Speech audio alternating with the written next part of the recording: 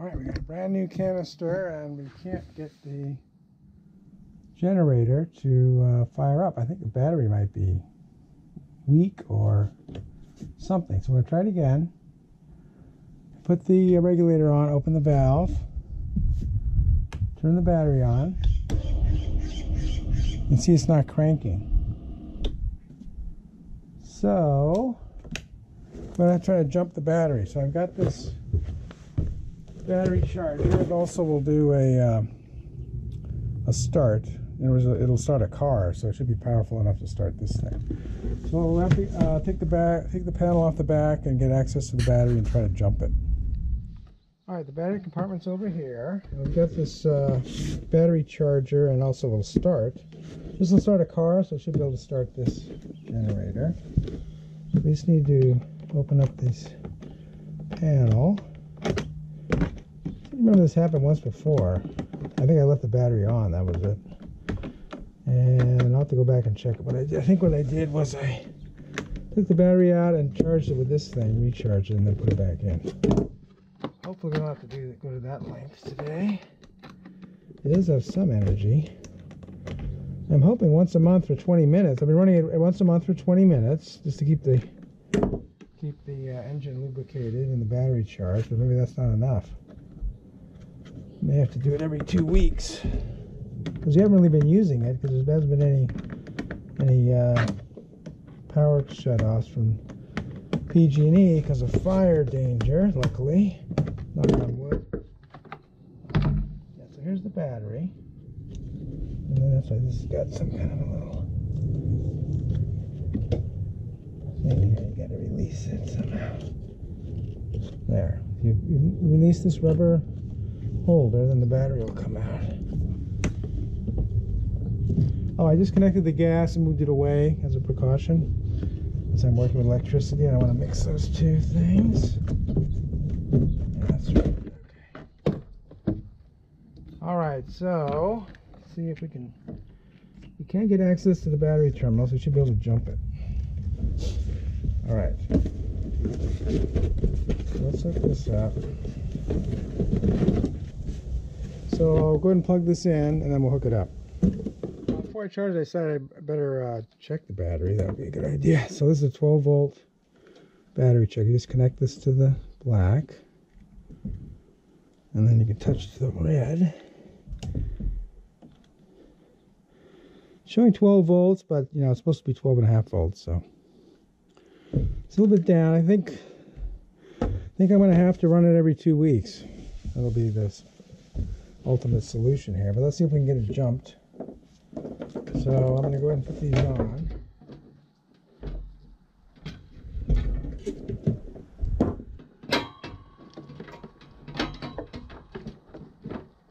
So black to black and red to red. Pretty straightforward. Actually put the red on first.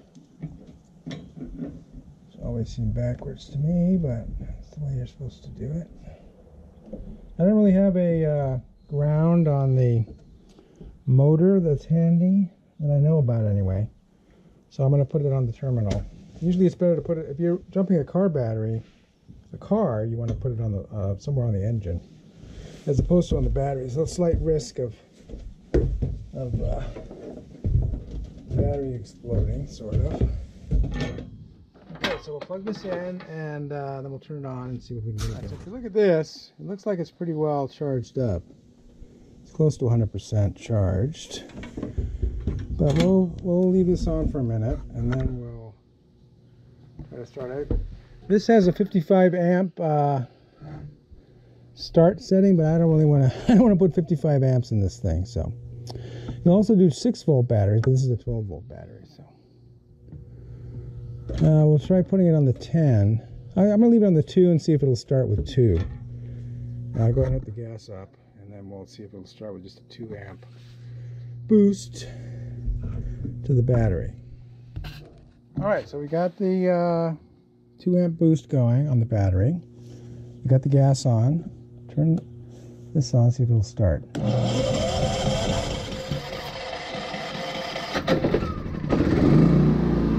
Started, so we'll, we'll turn off the uh, we'll turn off the uh, battery charger and uh, just let's let it run for 20 minutes. So I, I turned off the battery, unplugged the battery charger. Now you, you always remove the black first, and then the red.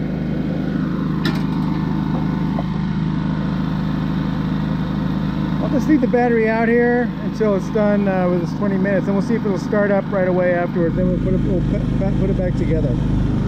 All right, it's been running 20 minutes. We're going to shut off the gas, which will shut off the engine.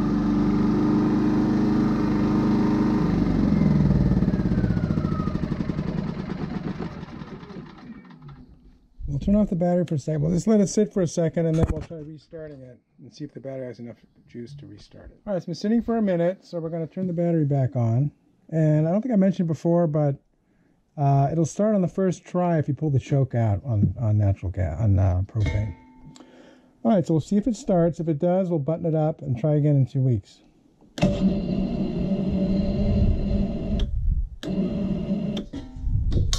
Well, I turned the gas off right. All right, it doesn't have enough charge, so I'm going to uh, put the battery on trickle charge and let it charge up for a few hours, and then I'll hook it back up and try it again. May have to replace the battery.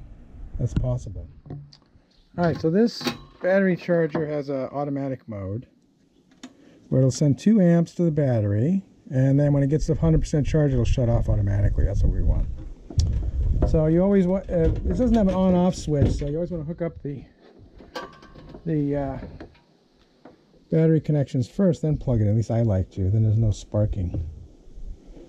So put red on red, black on black. I'll go plug it in, and then we'll take a look at it.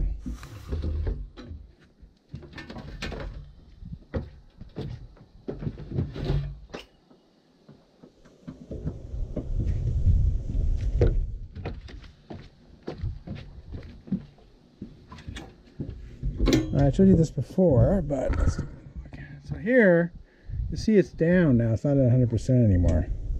So it did use some energy trying to start the engine. So we'll just let it run uh, for a few hours and see if it gets 100% and then uh, try starting it again. All right, it's been charging for about six hours. That should be enough. It's only a seven amp hour battery and we're charging it at two amps. So, so this is not quite at 100%. Actually, it's hard to tell exactly. It's still going in at about a little bit less than 2 amps. So we'll see what happens. It could be this battery is uh, kaput. It is about 22 months old, which is not not a super long time for this kind of battery, but we'll just see what happens. We will turn on our un, unplug the battery charger, disconnect these terminals and try firing it up again and see if it'll fire the generator.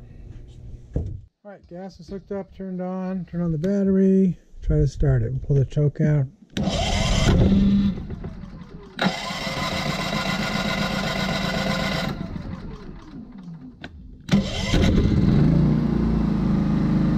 All right, it's charged up. Started the, I guess this was already Sometimes I, if I pull the choke out, it starts on the first time. Sometimes I, if I don't pull the choke out, I have to hit it twice to get it started. So, choke with propane is kind of uh, inconsistent, let's say. All right, so we'll turn off the gas.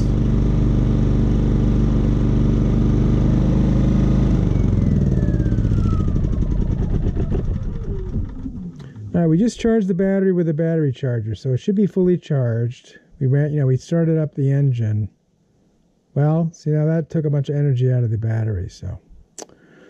Uh, let's see. I think what we'll do is we'll just try it in a couple weeks and see if it's uh, can start the start the engine. If it can't, I'll charge it up and then run the battery for 20 minutes or run the generator for 20 minutes in a couple weeks and we'll see if that that'll uh, keep it charged if we do it every two weeks so we'll do that for we'll see what happens in two weeks is what i'm really saying uh, one more thing i'm going to do i'm going to use the battery checker yeah see now it's, it's showing 13 volts so the battery's still charged. It, if it can hold its charge for two weeks, then it should work. So we'll try it again in two weeks. If it starts up, then we'll just assume this battery's okay. We need to run the generator every two weeks. That's my conclusion.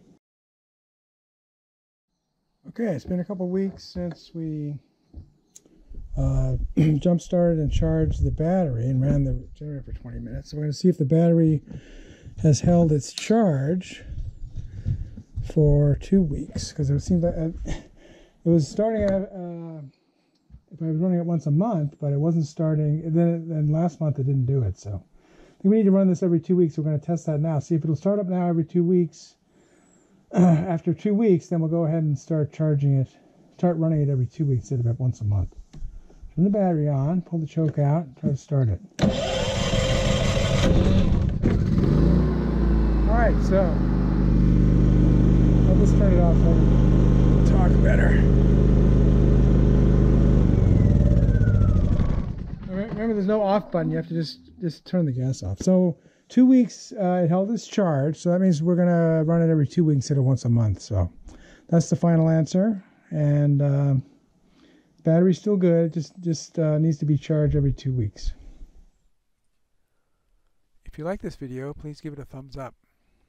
Post a comment if you have any questions or ideas and I'll try to respond. That's all for now, but more videos are coming, and if you want to see them, please subscribe to my channel and turn on the notification icon if you don't want to miss one. This is Beta Cygni signing out and keep looking up.